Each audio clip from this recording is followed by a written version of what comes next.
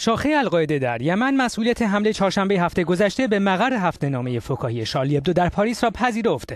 ناصر بن علی الانسی که از مسئولان القاعده در یمن و عربستان سعودی با اعلام این خبر در یک ویدئوی 11 دقیقه‌ای گفت این قهرمانان استخدام شده و قول دادند که برای رضایت مسلمانان وارد عمل شوند او همچنین افزود که این اقدام به دستور ایمن الزواهری رهبر القاعده و مطابق خواسته اسامه بن لادن صورت گرفته است او همچنین از آمدی کولیبالی عامل حمله به سوپرمارکت یهودی در پاریس تجلیل کرد. آمدی کولیبالی خود را وابسته به گروه دولت اسلامی موسوم به داعش معرفی کرده بود. حملات و گروگانگیری های هفته گذشته در پاریس و حومه 17 کشته بجا گذاشت و سه تن از عاملان آن نیز کشته شدند.